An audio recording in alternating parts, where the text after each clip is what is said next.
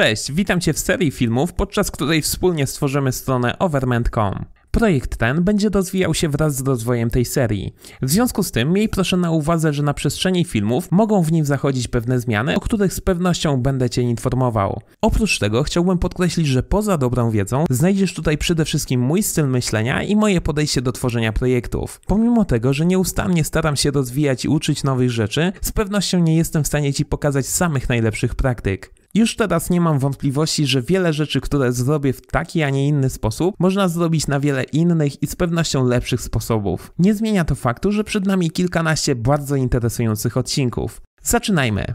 Pierwsze i podstawowe pytanie, które zadaję sobie na początku każdego projektu, to dlaczego chcę realizować akurat ten projekt? Odpowiedź na to pytanie jest ważna nie tylko dlatego, że w tej chwili upewniam się, czy na pewno chcę go robić, ale przede wszystkim dlatego, że w trakcie trwania projektu pojawiają się różne przeciwności, które sprawiają, że czasem mamy ochotę go porzucić. W takich chwilach wracam do odpowiedzi na pytanie dlaczego, no i wtedy na nowo przekonuję się, dlaczego ukończenie tego projektu jest dla mnie tak ważne. Pewnie zastanawiasz się, jak to wygląda w tej sytuacji. Mam tutaj tablicę na Trello mojego całego kanału, no i całą listę dotyczącą serii filmów na temat tworzenia strony overment.com. Jedna z kart odpowiada na pytanie dlaczego. Cóż, w moim przypadku jest to po prostu chęć wyjścia poza klasyczne aplikacje typu To-Do i proste przykłady, które pokazuję Ci na co dzień. Zastanawiając się, jak mogę to zrobić, pomyślałem, że w sumie potrzebuję również strony www, o której myślałem już wiele miesięcy temu, ale ciągle brakowało mi na nią czasu. Pomyślałem więc, że warto połączyć nagrywanie filmów oraz chęć stworzenia strony internetowej. No i w ten sposób powstał pomysł na tą serię. Zwróć uwagę, że zostawiłem sobie tutaj notatkę, która ma mi przypominać o tym, że ten projekt nie będzie idealny. Jest to bardzo istotne, abyś był tego świadom, szczególnie jeśli mówimy tutaj o projektach, które będą trwały dłuższy czas. Po prostu musisz zaakceptować fakt, że nie wszystko będzie szło po Twojej myśli. Z drugiej strony nie oznacza to wcale, że musisz się temu podporządkowywać. Osobiście zawsze staram się wykorzystywać nie tylko szanse, ale również zagrożenia, które pojawiają się podczas tworzenia projektu. Zwykle wychodzi z nich coś bardzo ciekawego i nieoczekiwanego. No i na koniec zaznaczyłem sobie jeszcze inspiracje, do których wrócimy za chwilę. Odpowiedź na pytanie dlaczego daje motywację do ukończenia projektu. Ale szczerze mówiąc, pod pytaniem dlaczego kryje się coś znacznie większego. Niestety nie jest to do końca temat tej serii. Jeśli jesteś nim zainteresowany, nie pozostaje mi nic innego jak odesłać cię do książki Start with Why. Naprawdę bardzo ci ją polecam. W porządku, gdy już mamy nasze dlaczego i wiemy już, że chcemy tworzyć stronę internetową, warto przyjrzeć się aktualnym trendom. Na podstawie tej wiedzy na bardzo ogólnym poziomie określamy, jak będzie wyglądać nasz projekt. O trendy najlepiej zapytać wyszukiwarkę. To, na co szczególnie warto zwrócić tutaj uwagę, to to, żeby ślepo nie podążać za każdym możliwym trendem. Po prostu chodzi o to, aby zorientować się, co powinniśmy zrobić, a czego powinniśmy unikać, projektując naszą stronę. Patrząc na pierwszy artykuł z brzegu, mamy tutaj informację o tym, że trendy roku 2018 to m.in. typografia, gradienty i wideo. Poniżej mamy informację o tym, co dokładnie się pod tym kryje.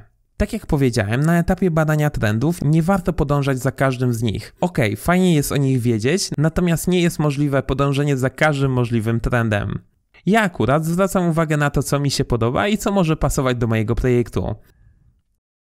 W tej sytuacji były to zdecydowanie typografia oraz gradienty. Typografia, ponieważ wiem, jak ona jest ważna w praktycznie w każdym możliwym projekcie, oraz gradienty, ponieważ bardzo pasują do mojego logotypu i ogólnego stylu kanału. Zastanawiałem się jeszcze nad wideo, ale przygotowanie filmów i animacji to chyba temat na inny czas. No i mamy tutaj jeszcze WebGL, ilustracje oraz tak zwany Seamless Interface. To są tematy, o których polecam Ci poczytać, natomiast ja uznałem, że w tej chwili nie mają one zastosowania w naszym projekcie. Skoro znamy już aktualne trendy, warto rzucić okiem, jak podążają za nimi inni.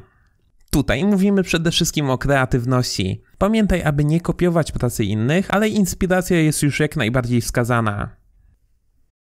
Proces inspiracji jest tak naprawdę bardzo prosty i ogranicza się do przeszukiwania internetu w poszukiwaniu różnych fraz. Ja wiedziałem o tym, że szukam gradientów oraz stylu stron projektowanych w roku 2018. Znalazłem tutaj kilkanaście linków, które po prostu z jakiegoś powodu przypadły mi do gustu i na ich podstawie przeszedłem do projektowania mojej strony.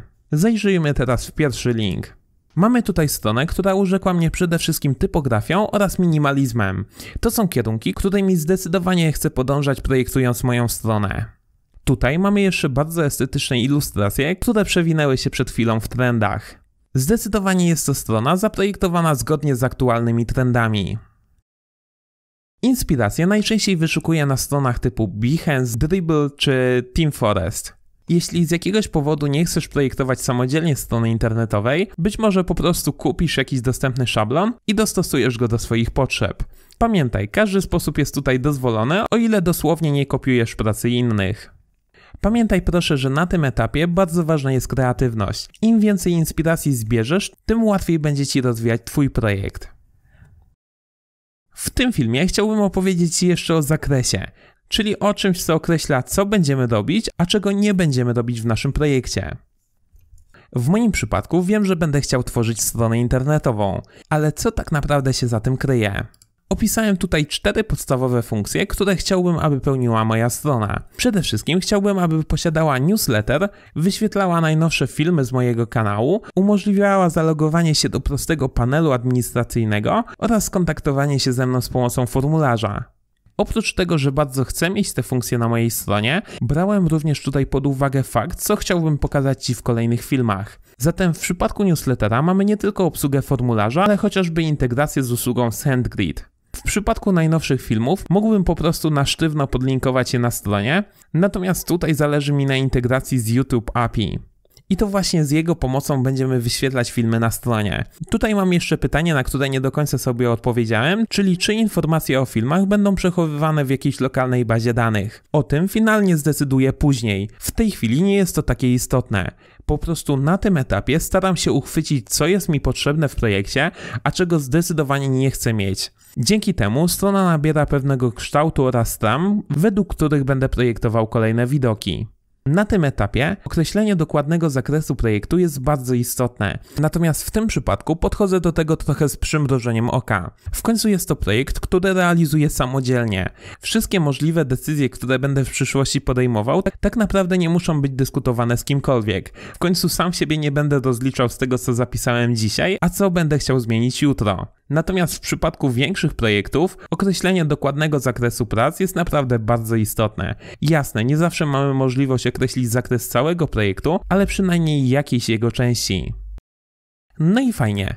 W tej chwili wiemy już dlaczego chcemy podjąć projekt, wiemy co będzie jego efektem, zapoznaliśmy się z aktualnymi trendami i wybraliśmy te, które nam bardzo pasują oraz zgromadziliśmy inspiracje, które wykorzystamy w kolejnym odcinku podczas projektowania interfejsu strony.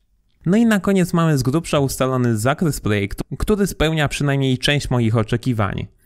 Jeśli chodzi o przygotowanie i planowanie projektu, na ten moment to będzie wszystko, co chciałem Ci powiedzieć. Oczywiście pamiętaj tutaj proszę, że ciągle mówimy o projektowaniu dość prostej strony internetowej, a nie rozbudowanego projektu.